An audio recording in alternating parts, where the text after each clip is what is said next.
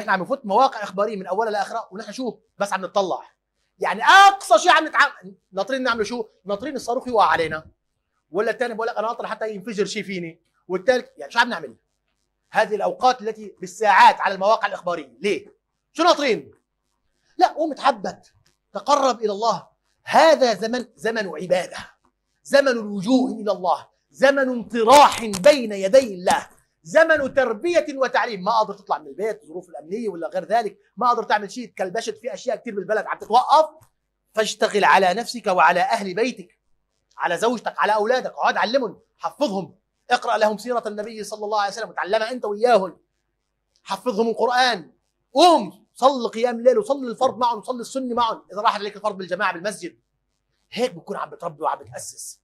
أما مجرد متابعة الأخبار ليش؟ لحتى أكون واعي باللي عم بيصير حوالي ما شاء الله طب قالوا لك حيقصفوا شو حتعمل بقى؟ يلا طب أنت هلأ أخذت خبر إنه يلا توسعت دائرة الخل... مش عارف إيش وحتوصل لعندك يلا شو حنعمل؟